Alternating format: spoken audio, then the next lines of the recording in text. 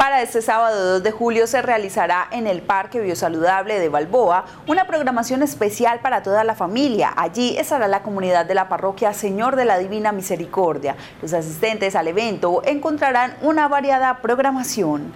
La parroquia siempre se ha fortalecido ya que los padres que han estado aquí la han fortalecido formando las comunidades del cine. Y las comunidades del cine eh, este sábado 2 de julio tienen una actividad para realizar un proyecto más en la parroquia de unirnos a una actividad que hace Surtifamiliar del Día de la Familia y nos invitaron a participar en su carpa con algunas actividades alimenticias que van a hacer las comunidades parroquiales.